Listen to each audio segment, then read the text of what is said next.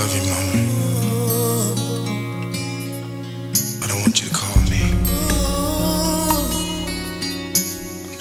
Please, stay in touch. While I'm alone, I'm wondering